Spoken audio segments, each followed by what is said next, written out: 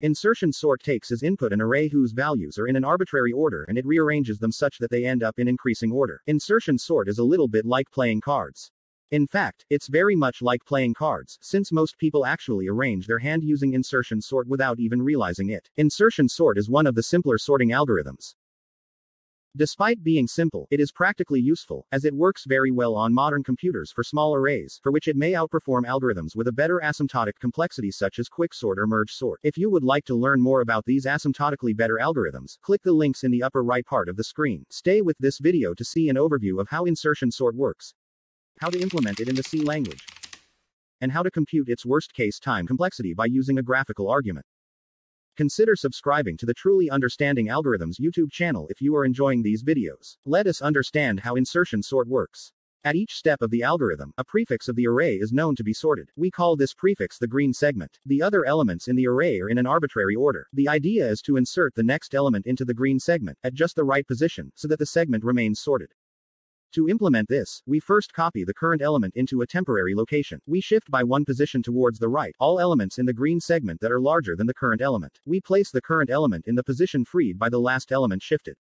This increases the length of the green segment by one element. We repeat this insertion process until the green segment encompasses all elements, and the entire array is therefore sorted. Let us see how insertion sort works on our running example. Initially, the segment known to be sorted consists of just the first element in the array, which is obviously sorted. We keep track of the green segment by using a pointer called i. It points to the element just past the end of the green segment. Incidentally, this element is also the current element that we need to insert into the green segment. We store the current element in a temporary location. We should now shift the elements larger than the current element to the right. We keep track of the position into which to shift the larger elements by using another pointer, called j. As long as the element just before j is larger than the current element, we shift it into position j and decrease j. Once j has finished iterating over all elements larger, we insert the current element. We forget about j, increase i, and repeat the entire process. Store 6 into the temporary location, shift 7 towards the right, insert 6 back into the array. Store 4 into the temporary location, shift 7 and 6 towards the right. Insert 4 back into the array.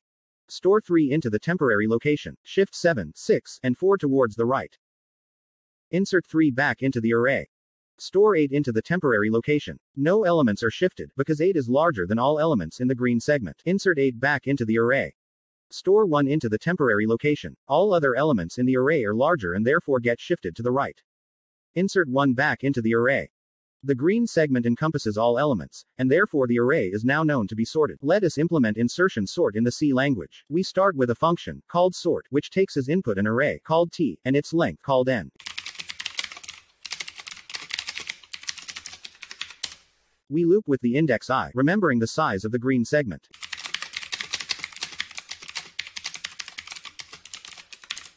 We store the element to be inserted, which is at position i, just after the green segment, into a temporary location. We loop over all elements larger than the current element, with the index j storing the position into which to shift them.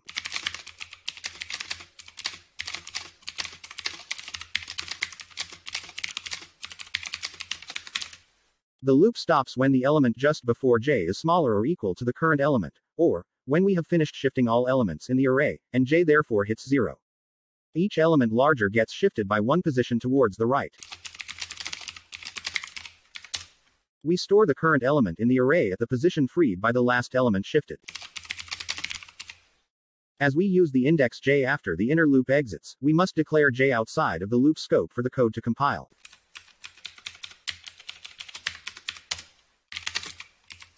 Let us now try to understand the time complexity of insertion sort. Insertion sort has a worst case time complexity of big O of n squared. This can be seen by using a simple graphical argument. We will place a dot for each unit of time taken by the algorithm, and then count the dots to obtain the time complexity. In the outer loop, the index i goes from 1 up to n minus 1. We will represent the running time used for each iteration of the outer loop on its own line, for each value of the index i. The two declarations and the last assignment in the body of the outer loop take a constant amount of time. To account for this, we place a dot for each iteration of the outer loop. It remains to add dots corresponding to the inner loop for each iteration of the outer loop. In the worst case, the inner loop makes j loop from i all the way down to 0 without stopping early due to the second stopping condition. This means that the inner loop can have at most i iterations, with each iteration taking constant time. Therefore, we add i dots to account for the inner loop, and we do this for each value of i.